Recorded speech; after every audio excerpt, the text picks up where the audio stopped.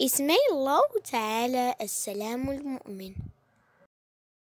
اسم الله السلام. يحمل اسم الله السلام معنيين.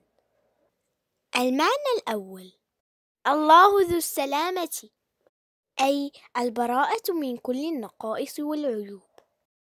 والمعنى الثاني هو أن الله تعالى حرم الظلم على نفسه. كما جعله محرما بين عباده. لذلك سلم العباد من ظلم الله تعالى فهو جل جلاله الحكم العدل. قال الله تعالى هو الله الذي لا إله إلا هو الملك القدوس السلام كما كان صلى الله عليه وسلم إذا سلم من كل صلاة يقول اللهم أنت السلام ومنك السلام. تباركت ذو الجلال والإكرام. رواه الترمذي. اسم الله المؤمن. الله المؤمن الذي وحد نفسه بقوله. شهد الله أنه لا إله إلا هو.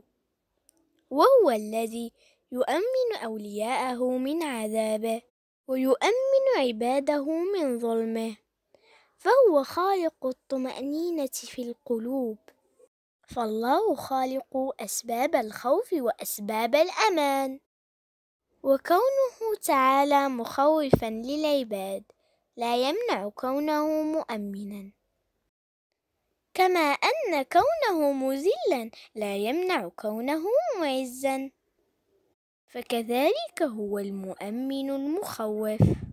فالمؤمن هو المصدق عباده المؤمنين أي يصدقهم على إيمانهم وإثابتهم عليه. وهو الذي وهب لعباده الأمن من عذابه ومن الفزع الأكبر والمصدق لنفسه ولرسله عليهم السلام.